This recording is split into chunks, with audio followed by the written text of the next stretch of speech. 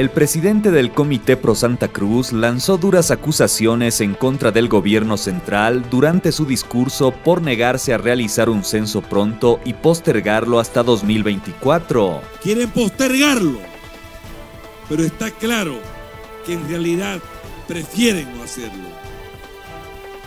Con su negativa, testarudez y terca oposición al pronto censo transparente.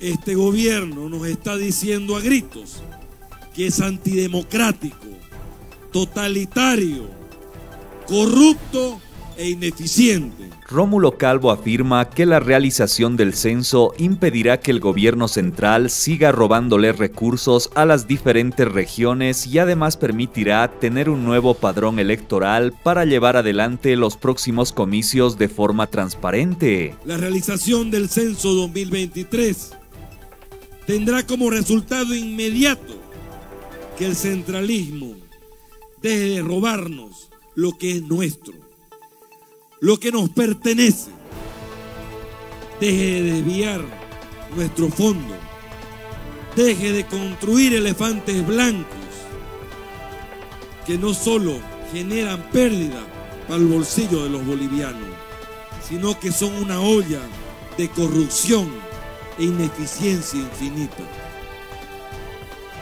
La realización del censo 2023 nos dará paso a tener un nuevo padrón electoral, sin vicios, limpio, pues partirá de un número real y actualizado de habitantes por cada departamento y municipio. Además de exigir que el censo se realice para 2023, Rómulo Calvo pidió al presidente del Estado que trabaje por una justicia imparcial sin perseguidos políticos. A los pies de Cristo y delante de esta multitud, reclamamos también por una justicia sin partidos ni colores, una justicia imparcial, proba, correcta, una justicia sin presos políticos.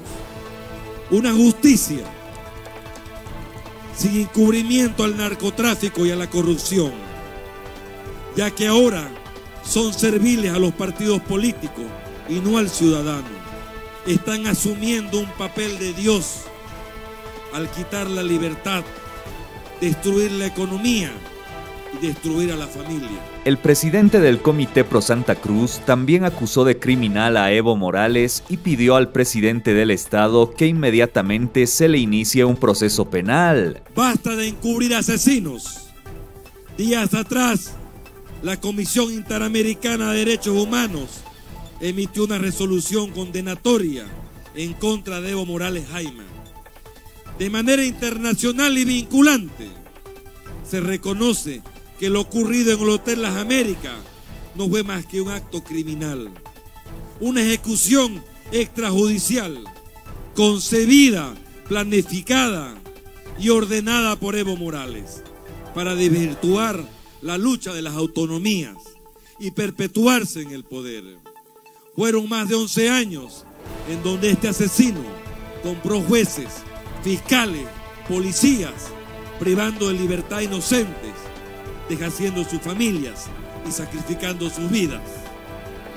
Es por eso que hoy le exigimos que inmediatamente se le inicie un proceso penal por asesinato, por el delito de lesa humanidad y se le condene con la pena máxima de cárcel.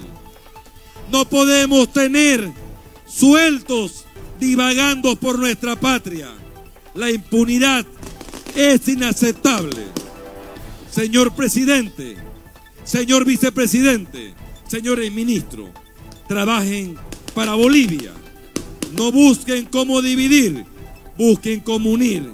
Gobiernen para todos, no para sus acólitos. Dejen de consentir a fraudulentos, a mentirosos, a narcotraficantes, a corruptos consientan al verdadero boliviano que día a día sale de su casa en busca de una de honestidad y tener días mejores. Hoy Nuestra bandera es el censo. Pero no olvidemos que Bolivia tiene sed de justicia, de libertad, de seguridad jurídica.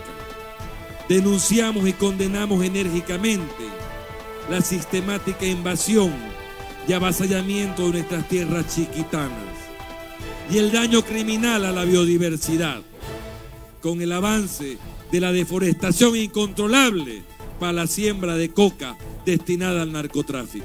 Rómulo Calvo también mandó un mensaje indirecto al alcalde de Santa Cruz, Johnny Fernández, que no estuvo presente en el cabildo, acusándolo de traicionar el voto de su pueblo. Tampoco nos olvidamos de aquellas autoridades que en lugar de luchar con su pueblo, conspiran, sabotean nuestras legítimas demandas y acciones, aceptando compensaciones, dádivas y traicionando la confianza del voto de su pueblo en las urnas. Finalmente el cívico agradeció a los comités presentes de diferentes departamentos, al gobernador de Santa Cruz, Luis Fernando Camacho, que estuvo presente entre la gente que asistió, y a familiares de los que consideran presos políticos. Agradecer la presencia de muchos invitados de Bolivia, los amigos cívicos del Beni,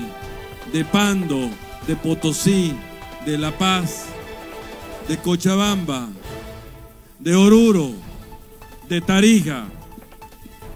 Agradecer a nuestro gobernador que de una forma humilde acató un mandato de la ley. Agradecer a los asambleístas, a los diputados, a los senadores. Agradecer la presencia de la mamá de Yacir Bolívar, de Carolina, la hija de la expresidenta, presos políticos injustamente por el abuso del gobierno, el abuso con otros amigos más como es Marco, como es nuestros amigos de Potosí que están perseguidos.